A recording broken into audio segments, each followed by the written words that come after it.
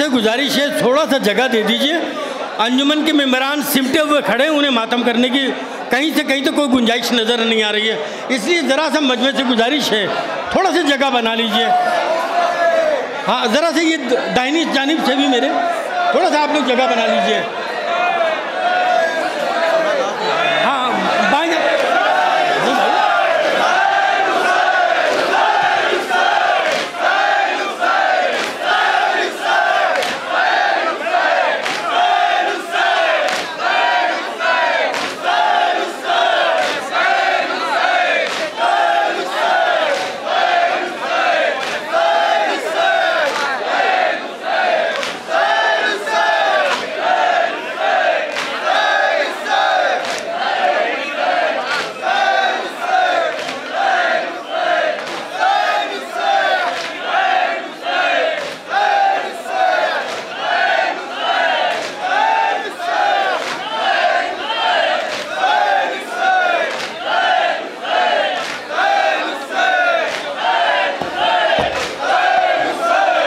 भैया आप लोग जरा दाहिनी तरफ़ से भी और इधर उधर और इधर है जगह है आप लोग-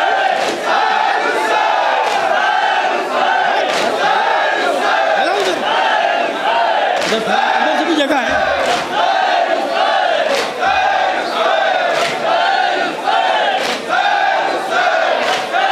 माशाल्लाह जजाकल्ला अंजुमन हैदरी चौक, बनारस। आप हजरात के सामने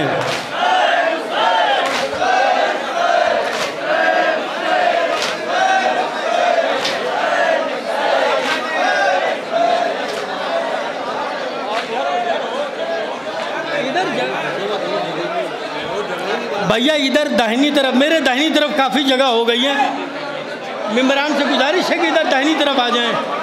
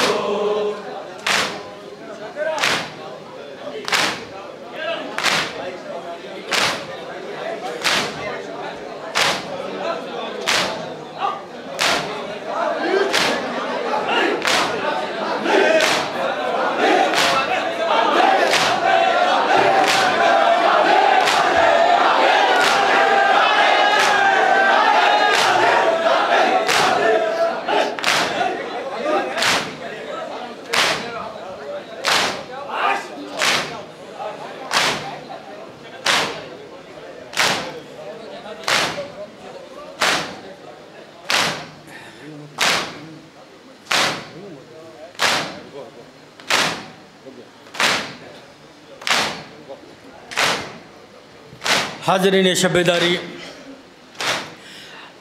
आप हजरात के सामने सिर्फ़ बनारसी नहीं,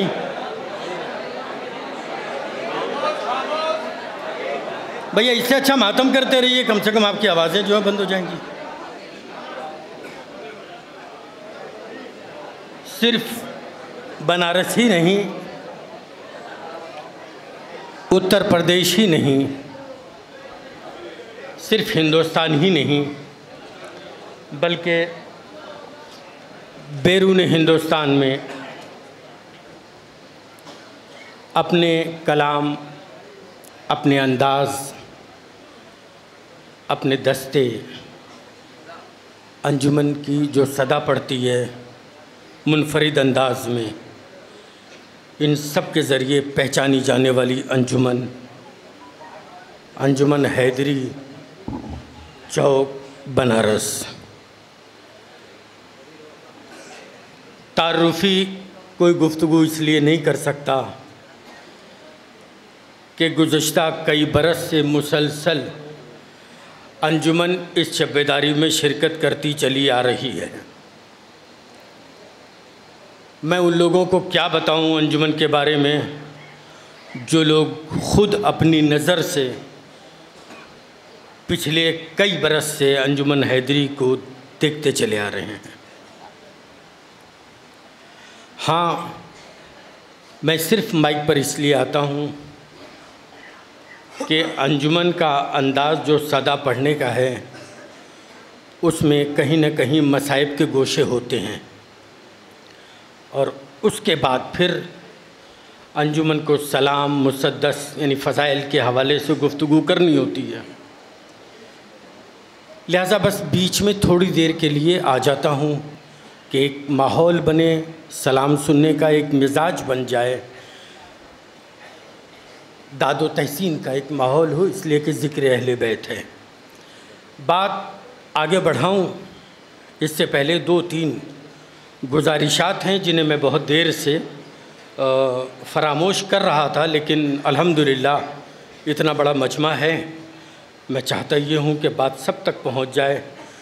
छब्बीस सफ़र बवक्त, एक बजे दिन, बमुकाम शाही चार उंगुल की मस्जिद पानदरीबा जौनपुर में एक मजलिस, एक जुलूस है, जिसमें आली जना मौलाना दिलशाद हुसैन साहब ख़िताबत फरमाएँगे। ममनिन से गुजारिश है कि ज़्यादा से ज़्यादा तादाद में शिरकत करें और सवाबदारन हासिल करें। सात सफ़र साढ़े आठ बजे शब में बमुकाम मस्जिद हयाला खैरमल पानदरीबा जौनपुर में एक शब्बेदारी का इनका किया गया है, जिस की खिताबत फरमाएँगे सैयद आसिफ़ अब्बास रिजवी साहब, कबला शिवली आज़मगढ़। और इसमें खसूस तौर पर इन रेहान जलालपुरी सलमहू को नोह खानी के लिए मदू किया गया है। बहरहाल मेरी इस छोटी सी गुजारिश से कोई फ़र्क पड़ता नहीं, इसलिए कि हमारा जौनपुर का मजमा जो है, वो मुसलसल इश्तहार के ज़रिए ये सारी गुफ्तु देखता और सुनता चला आ रहा है। एक गुजारिश, इसमें हम अपने बनारस के मजमे को भी शामिल करेंगे, जौनपुर के मजमे को भी शामिल करेंगे, और जौनपुर के कुर्ब जवार से जो लोग आए हैं, हम उनको भी शामिल करेंगे। 21 सफ़र बरोज़ एतवार 18 सितंबर, बवक्त 9 बजे सुबह। एक मजलिस चहलूम सैयद हसन जवाद तस्कीन मरहूम की का इनका किया गया है। सैयद हसन जवाद तस्कीन मरहूम, ये मेरे बहनोई थे, मेरी छोटी बहन के शौहर थे। इस ज़िम्मेदारी में मुसलसल मैं उनको देखता था कि वो सामने खड़े रहते थे। पिछले डेढ़ बरस से वो बीमार थे और पाँच मुहर्रम को उनके घर में मैं आप लोगों को एक उनकी खसूसियत बता दूँ मरहूम की, अंजुमन हैदरी के मेम्बरान से। जौनपुर का मजमा जानता है कि पाँच मुहर्रम को हमारे बहनोई तस्कीन भाई उनके मुफ्ती महल में उनके घर पे एक मजलिस होती है जिसमें जुलजना और अलम वगैरह बरामद होते हैं। उनकी कोशिश ये होती थी हर साल कि हम अच्छे से अच्छा जुलजना ले करके आएँ। हती कि उन्होंने एक साल कोशिश की, मिलिट्री ऑफ़िस चले गए और वहाँ से रिक्वेस्ट करके जुलझना लेके आए।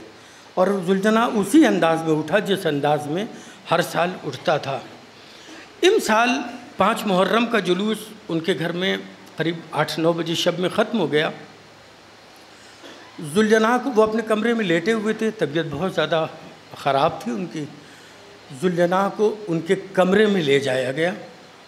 आप तस्वुर कर सकते हैं, एक छोटा सा दरवाज़ा होता है जुलझना को ले जाने की कोई गुंजाइश नहीं होती, लेकिन उनके कमरे में जुलझना गया और फिर फ़ौर इमिडिएटली बाहर आ गया। फिर उसके बाद दोबारा फिर कोशिश की गई जुलझना गया, फिर बाहर आ गया। तो यहाँ एक मौलाना मौजूद है, उनसे वजह पूछी गई। उन्होंने बरजस्ता ये जवाब दिया कि ये जुलझना का फ़ौर वापस आना ये बताता है कि कहीं मरीज़ हमसे ज़िंदगी ना मांग ले। इसलिए कि इमाम की शबी है, ज़ाहिर है फिर तो सेहत और सलामती और ज़िंदगी देना वाजिब हो जाता है। तो इसलिए उन्होंने ये कैफियत बयान की। बहरहाल, मैं दस्त बस्ता आप तमाम हज़रत बनारस के भी ममिन से अगर दामन वक्त में गुंजाइश हो तो आप हज़रत शिरकत कीजिए। इस मजलिस को ख़िताब फरमाएँगे आली जनाब मौलाना जाफ़र अब्बास साहब कबला। लखनऊ। और इसमें एक जो ख़ास अहतमाम किया गया है, वो सोजखानी का किया गया है। सोज खान साहब पहली बार जौनपुर की सरजमीन पर तशरीफ़ ला रहे हैं। जनाब शकील साहब और जनाब नायाब साहब लखनऊ से। लोगों ने जौनपुर के मजमे ने यूट्यूब के ज़रिए सुना होगा, लेकिन बरह रास्त वो पहली बार सुनेंगे। बहरहाल, वक्त ज़्यादा ले लिया मैंने, मैं माजरत चाहता हूँ। आइए अब उस माहौल में चलें कि जिसके अंदर दादो तहसीन की आवाज़ें बुलंद होनी चाहिए। ज़िक्र मौला हो रहा था, ये अंजुमन हैदरी है। अंजुमन हैदरी कहाँ से नाम लिया? इन्होंने जब हैदरी का नाम आएगा तो फिर लामोहला जहन चला जाएगा हैदर की तरफ़। जब हैदर की तरफ़ जहन जाएगा तो मौलाए मुतक़ियान याद आएँगे, यानी हज़रत अली याद आएँगे। अब मैं मिसरे पढ़ने जा रहा हूँ कि सुनिएगा, शायद आपके सामने मैं पहली बार पढ़ रहा हूँ कि फ़िक्र जब उनके ख्याल ख्यालों में निखर जाती है। फ़िक्र जब उनके ख़यालों में निखर जाती है, फ़िक्र जब उनके ख़यालों में समर जाती है मेरे हेर, हर शेर की तकदीर समर जाती है। फ़िक्र जब उनके ख़यालों में निखर जाती है, मेरे हर शेर की तकदीर संवर जाती है। मैं तो शहदाए अली इब्ने अभी तालिब हूँ, लाख मुश्किल हो मगर हंस के गुज़र जाती है। मैं तो शहदाए अली इब्ने अभी तालिब हूँ। आपको मालूम है हैदरी वालों, इस शेर का खालिक इसी मजमे में मौजूद है। कहीं ना कहीं से वो आपको देख रहा है। मैं तो शहदाए अली इब्ने अभी तालिब हूँ। मैं तो शहदाए अली इब्ने अभी तालिब हूँ। लाख मुश्किल हो, मगर हंस के गुजर जाती है। शेर किसका है? बता दूँ। जनाब शराफत साहब का है। शराफत साहब बनारसी के ये मिसरे मैंने इस्तेमाल किए ताकि थोड़ी सी आवाज़ें बुलंद हो। अब मैं यहाँ से मिसरे पढ़ने जा रहा हूँ मौला कायनात के हवाले से कि ये बारे गिरा अपने सरों पर न उठाओ मैं जौनपुर में अगर ये मतलब पढ़ूँ तो मुझे बराबर से जवाब मिलना चाहिए। इसलिए इस मिजाज का कई वाकयात जौनपुर में हो चुके हैं। ये बारे गिरा! ये बारे गिरा! अपने सरों पर न उठाओ! बलन भाई, ये बारे गिरा! अपने सरों पर न उठाओ! हम ताजिया ले जाएँ तो पत्थर न उठाओ अरे बोलो भाई कहाँ बैठे हुए हो यार? क्या बात समझ में नहीं आई जौनपुर में? कौन सी ऐसी बात है जो समझ में नहीं आई ये बारे गिरा, अपने सरों पर न उठाओ। हम ताजिया ले जाएँ तो पत्थर ना उठाओ। ये जख्म तो मेरा है, तुम्हें इससे गरज क्या?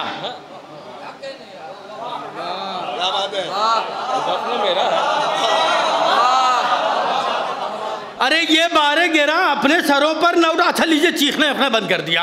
आराम से पढ़ दूँ ताकि आप दाद दीजिए। मैं आराम से पढ़ूँ, आप दादा बोलिए। ये बारे गिरा, अपने सरों पर न उठाओ। हम ताजिया ले जाएँ तो पत्थर न उठाओ। ये जख्म तो मेरा है, तुम्हें इससे गरज क्या? तुम मेरी तराजू पर यह गौहर न उठाओ।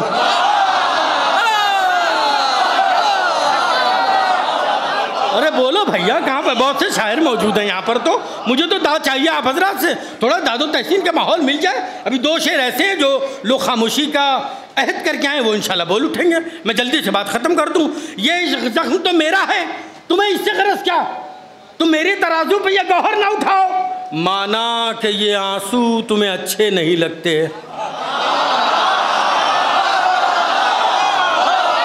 बोलो बोलो भाई बोलो जरा सा जरा सा मिजाज बन जाए ना तो मुझे भी अच्छा लगेगा।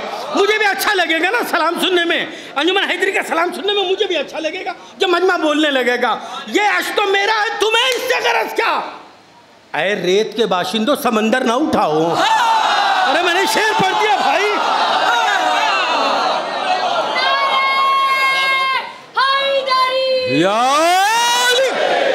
आराम से पढ़े दोनों शेर। यार!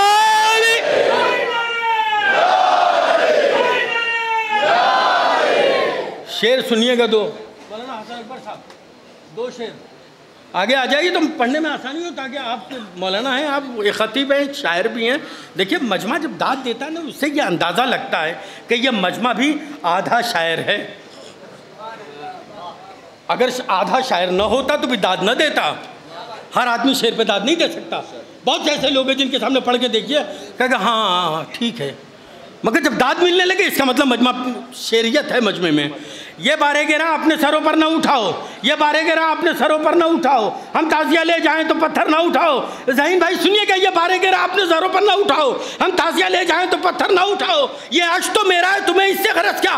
तुम मेरे तराजू पे ये गहर ना उठाओ। माना कि ये आँसू तुम्हें अच्छे नहीं लगते। अरे रेत के बाशिंदा, अरे लहजे का शेर, सुन लो भाई।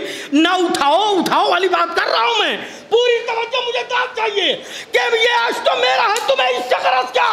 तुम मेरी तराजू पे ये गौहर ना उठाओ। माना कि ये आँसू तुम्हें अच्छे नहीं लगते। अरे के बाशिंदो, समंदर ना उठाओ। तो किस किस को हलाकत से बचाया है अली ने? इस बात को आए मेरे बरादर ना उठाओ।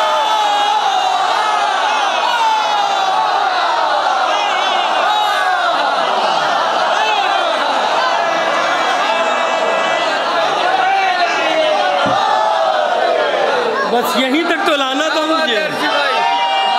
तो लाना था। मिल गए मिल गए मिल गए हैदरी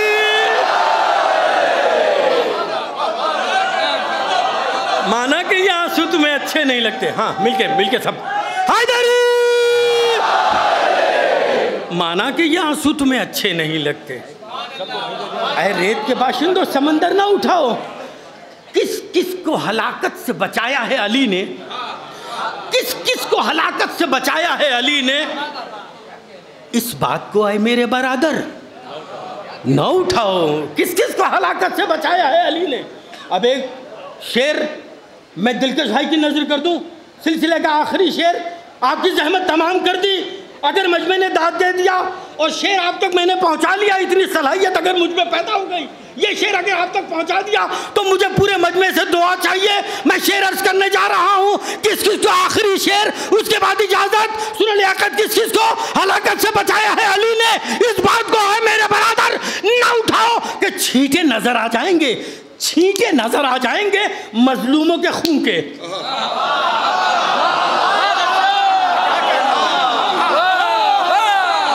समझो अरे छींटे नज़र आ जाएँगे। मजलूमों के खून के ये तख्त ढका रहने दो चादर ना उठाओ।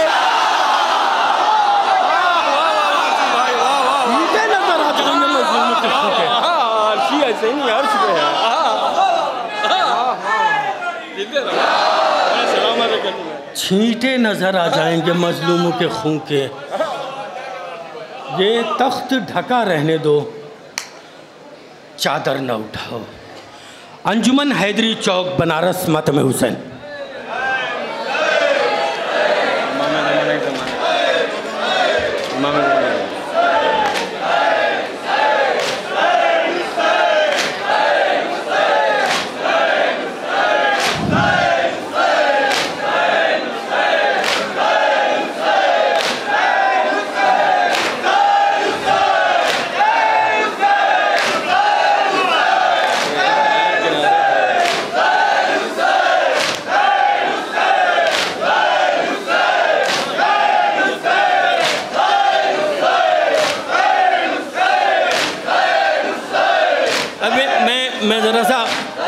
से माफ़ी चाहता हूँ इस इंटरप्शन के लिए मैं माफ़ी चाहता हूँ। असल में मेरे पास मुसलसल कई फ़ोन और कई मैसेजेज आ रहे हैं, लेकिन मैं माइक पर जाकर भूल जाता हूँ। ये जो शब्बेदारी है, इसे जहाँ हमारे जौनपुर आज़ा डॉट कॉम वाले इसको चला रहे हैं लाइव इसके साथ साथ हमारे बनारस के आज़ादार जो बनारस में इस वक्त मौजूद हैं, साजिद साहब, वो इस छब्बेदारी को बनारस से लाइव दिखा रहे हैं और इस वक्त उनके पास कई व्यूज़ आ चुके हैं, कई लोग हैं जो इस छब्बेदारी को देख रहे हैं। अंजुमन हैदरी चौक, बनारस, मातम हुसैन।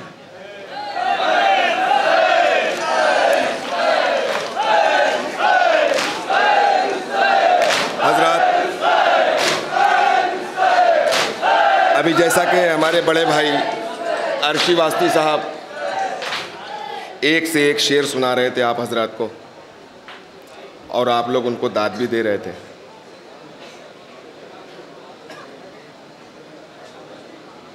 मैं बात कहना ये चाहता हूँ कि मदीने से जब इमाम हुसैन निकले थे